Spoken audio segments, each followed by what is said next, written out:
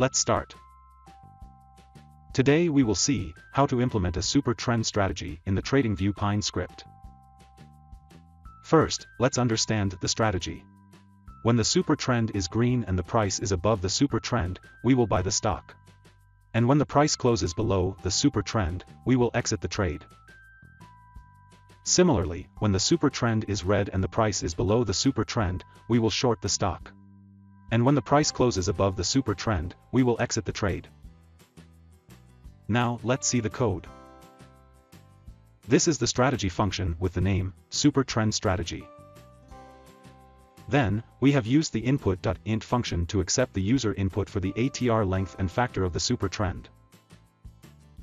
Then, we have used the super trend function to calculate the super trend and its direction. Then, we have plotted the super trend. If the price is above the super trend, we color it green, else we color it red. Now, if the super trend is green and the price is above the super trend, we set the as long variable to 1, else we set it to 0. Similarly, if the super trend is red and the price is below the super trend, we set the as short variable to 1, else we set it to 0. And for the stop loss, we use the stop long and stop short variables. After taking the long trade, if the price closes below the super trend, we set its stop loss here. And after taking the short trade, if the price closes above the super trend, we set its stop loss here. Now, we have used the strategy.entry function. The first argument is the ID of the entry. The second argument is the direction of the trade. Here we are taking the long trade. The third argument is the number of shares that we want to trade.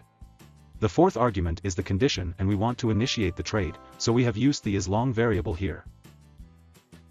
And the strategy.position size variable denotes how many trades are currently active on the chart. So we keep its value to 0, because we want to initiate a trade only when there are no pending trades on the chart. If we don't use the strategy.position size variable then, the chart would be full of various unnecessary trades.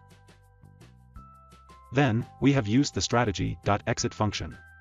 The first argument is the ID of the exit. The second argument is the ID of the entry. This will be useful if we have multiple different entries on the chart. The third argument is the quantity to exit and the fourth argument is the stop loss or the exit condition. This is the long trade entry and exit. Similarly, here we have programmed the short trade entry and exit over here. Let's add this strategy to the chart.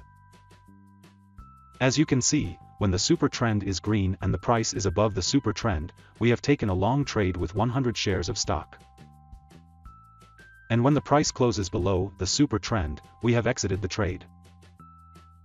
Similarly, when the super trend is red and the price is below the super trend, we have taken a short trade with 100 shares of stock.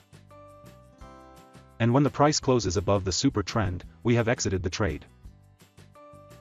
An important note, in the TradingView, the entry-exit arrows are always shown on the next bar, because, the Pine script waits for that bar to completely close where the entry-exit conditions satisfy, and then it shows the arrows on the next bar. You can check the strategy results in the Strategy Tester tab. So that's it. That's how you can implement a super trend strategy in the TradingView Pine script. Thank you.